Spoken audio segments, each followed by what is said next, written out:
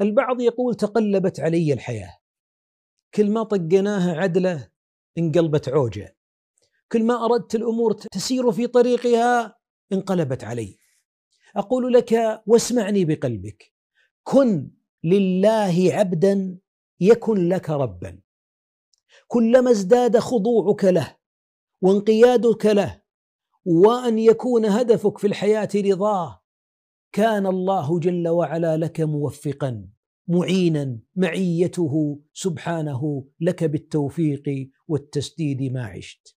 البعض منا لا يكون لله عبد ويريد أن يربيه الله بنعمه.